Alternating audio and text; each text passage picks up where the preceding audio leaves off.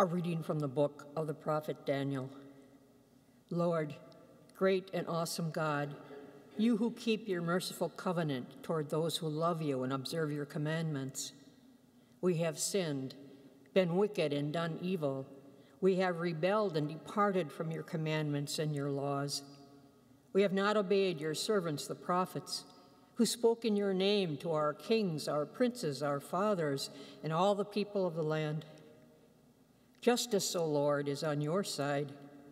We are shamefaced even to this day we, the men of Judah, the residents of Jerusalem, and all Israel, near and far, and all the countries to which you have scattered them because of their treachery toward you. O Lord, we are shamefaced, like our kings, our princes, and our fathers for having sinned against you. But yours, O Lord our God, are compassion and forgiveness. Yet we rebelled against you and paid no heed to your command, O Lord our God, to live by the law you gave us through your servants, the prophets. The word of the Lord. Lord, do not deal with us according to our sins. Remember not against us the iniquities of the past. May your compassion quickly come to us, for we are brought very low.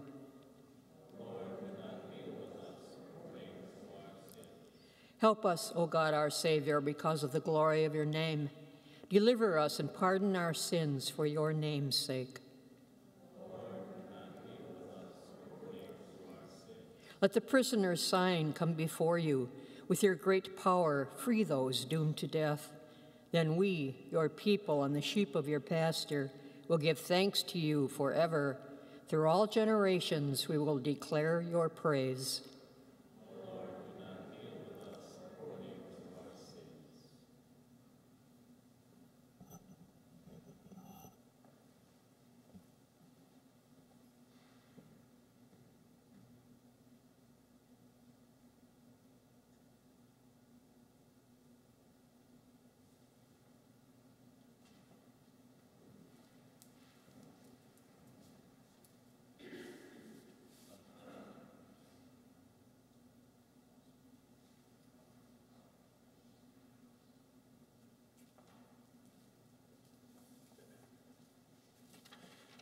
The Lord be with you. A reading from the Holy Gospel according to Luke.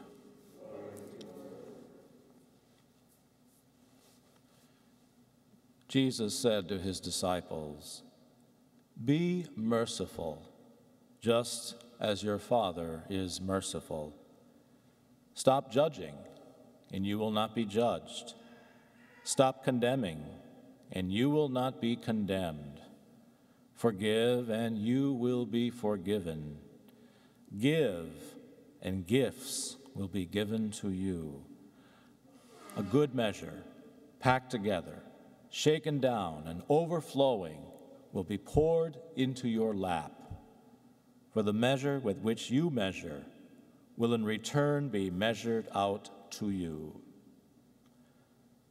The Gospel of the Lord.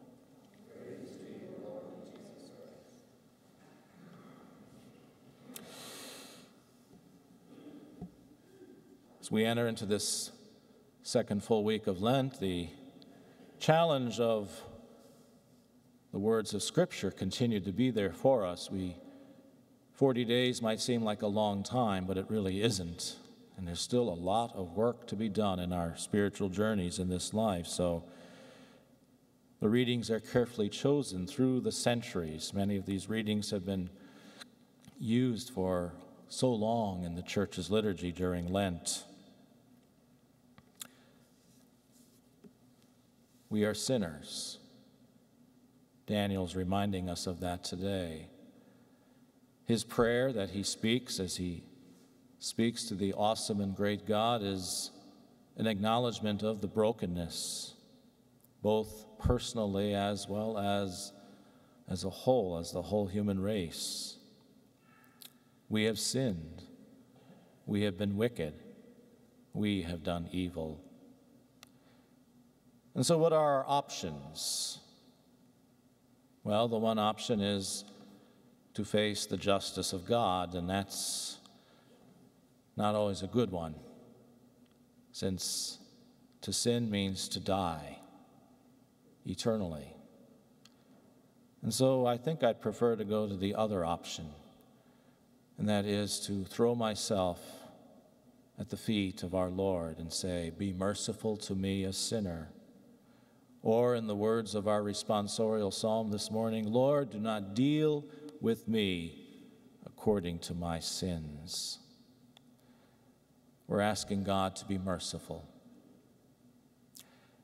And that leads us then to the gospel. Jesus, who is the Word of God, Jesus, who is the one to show us the way to the Father, who is just. But Jesus is also the mercy of God. And that's why we must throw ourselves at his feet. But it's not a blank check that our Lord writes for us, so to speak. There is duty and responsibility on our parts if we want to enjoy that mercy, and our Lord makes it very plain in the gospel today. And the words of the Lord's Prayer remind us of that as well. Be merciful just as your Father is merciful. In other words, if we want God's mercy, then we need to show mercy. Now, what does that mean? Because that can be rather abstract to say that one is merciful or one shows mercy. Other words maybe we use are compassion. The Latin word for mercy is misericordia, a miserable heart, a heart that's sorrowful, a heart that's wroth with pain and suffering. And when we show mercy, what we're really doing is what also our Lord is saying. Is mercy begins with we must stop judging, judging others. And the reason is really simple because only one person, the divine person of God, the Father, can see into the hearts of everyone and know everyone all the billions and billions of us all at once. Only God knows the pain, the struggles, the obstacles, the handicaps, the temptations, the weaknesses, the addictions, everything that we carry as baggage that the normal sight of human beings cannot see amongst our fellow people.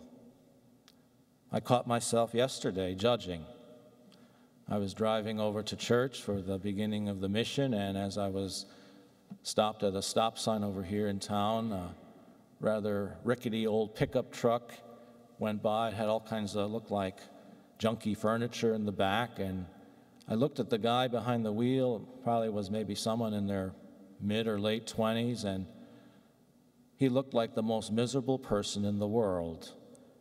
And immediately I judged him. And I says, just look at that guy. Who knows what kind of life he must be living? Well, maybe I should have listened to those words, because then I reminded myself, yeah, what kind of life might he be living? A life that might be filled with sorrow. Maybe he lost his job, or maybe he lost his wife, or he's in a broken relationship. He's very sad and distraught right now. Who am I to judge? Who are any of us to judge? Only God alone can judge. And so we must stop condemning. We must stop judging. And there is the beginning of mercy. And then we have to pray to see with the eyes of Jesus, not always completely because we're not Him, but to see like the eyes of Jesus, beyond the externals and to know that everyone we encounter, whether they be close to us as family and friends or people we never have ever seen before in our lives, we're all carrying stuff within us, heavy stuff sometimes, the misery of the hearts. And that's why we show mercy, because God shows us mercy, because God knows us through and through. So as we begin this new day together, let's examine deeply into our lives the judgment calls we've made, past and present, and let's move beyond that. Let's pray for the grace to move beyond that so that indeed we can be forgiving. As the Lord's Prayer reminds us each day yes, forgive us our sins, but as we forgive the sins of others. God is mercy.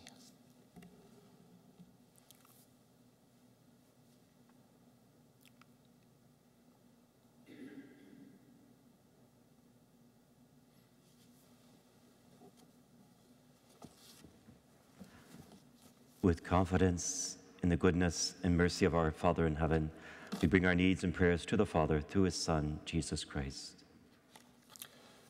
That all members of the church will generously share God's love with others and have hearts that are ever willing to forgive, let us pray to the Lord. Lord, hear our prayer.